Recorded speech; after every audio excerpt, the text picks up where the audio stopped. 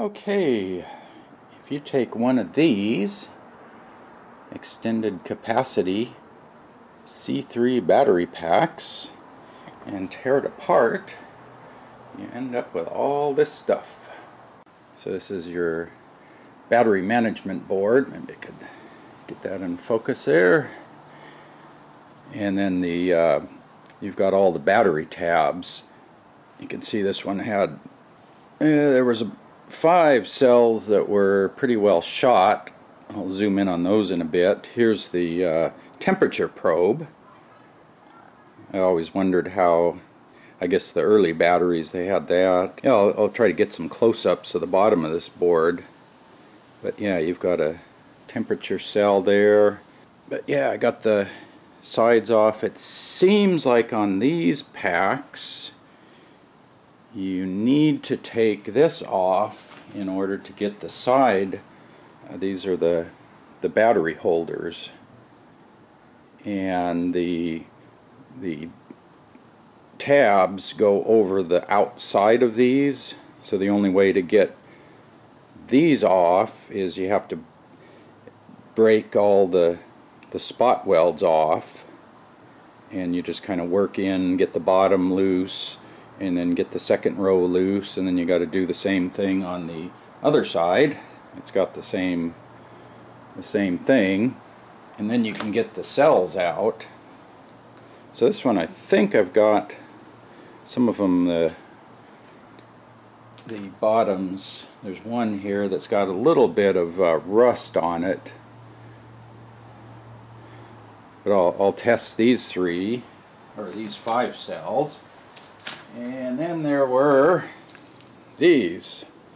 I think these are due for the recycler especially this one. That's I guess what's inside of one of these. So I think this this pack was probably beyond repair. There's a, a lot of the battery tabs are all corroded from these five and they it was really stuck together because the you can see how they were swelled up so I think these are going out in the recycle bag, battery recycling bag. Let's see if I get rid of those before they explode on me. But I think those are beyond recovery. But if I get five, you know, if, if these five are, are any good, that would be two dollars for each cell, but that's pretty much all the stuff. And I'll see if I can get a few close-ups of uh, this board the battery management board. This is one of the early this is probably like the second generation where they added the plug for the fuel gauge and they uh, also put the uh, MOSFETs up on top and then you can see this BMS board is just big enough to pick up all the terminals. It's not quite full size, but it's it's pretty close. So they've got a few components on the bottom, and then the uh, I'll try to get some, see if I can find any data sheets on that, if you can see that.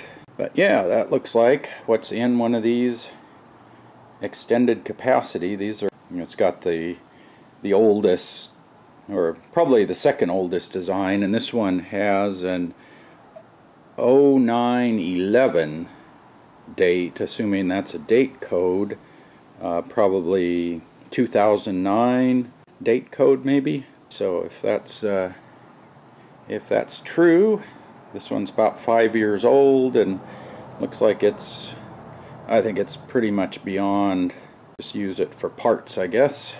Like I say I want to grab the this piece and make an adapter to plug into my uh, charger so I can get to these wires and uh, kind of instrument them and see what's going on with the charger and then maybe I get five yeah, if I can get a couple of good cells out of that uh, if I if all five of those are are good that's two dollars a piece for the cells since I only paid ten dollars for the for the battery. So we'll see what happens. I'll update you when I get a chance to check out these cells and uh, in the meantime you can check out some of my other videos uh, give this one a thumbs up if you like it uh, subscribe to the channel for updates and thanks for watching